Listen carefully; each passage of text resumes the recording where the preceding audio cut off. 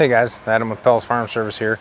Today we're going to be measuring the lifting capacity of all of our tractors here on the lot. We're going to start with the little BX 2380 today. We got the pallet on here, we got pallet forks on here. There's a little arrow here on the ground and that is 19.7 inches forward of the pin. We have all the tractor weights. We have a scale back here. We've weighed all the weights individually. We've weighed the pallet individually, the fork bracket, and the forks all individually. Before we even get started on this thing, the weight with just the pallet forks and the pallet is 274 pounds, 274.8. And we're going to try to see how much this will lift at full height. We will highlight this in the video. You really can't see the mark on the wall here, but this is 60 inches. So we're going to go ahead and give it a shot. We've started with two weights on here.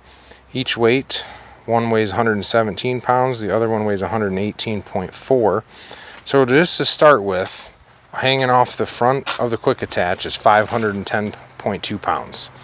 So we're going to go ahead and get on the tractor and see how high it's going to go. And we are going to do this at full RPM too to make sure that uh, we're getting the most hydraulic flow out of it.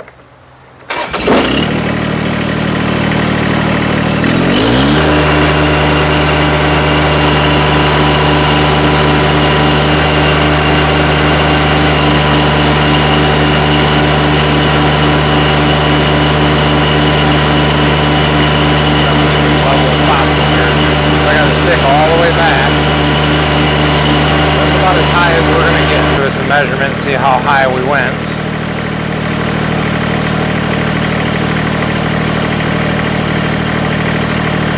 Four feet, 10 inches.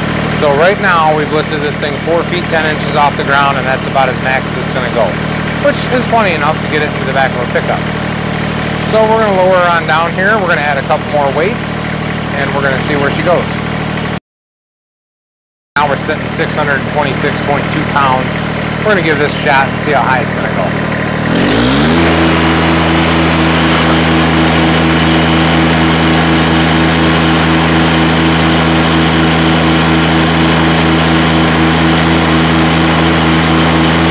That's bottomed it right out there. So we'll give this a measurement and see how high we got.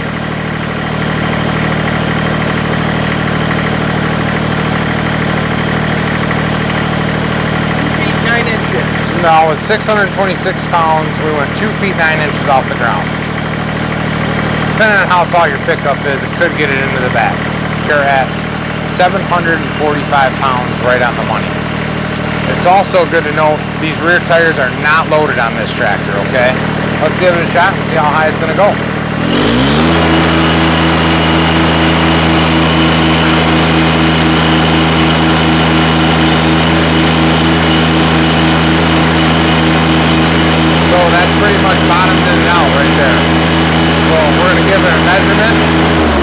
How high she went off the ground.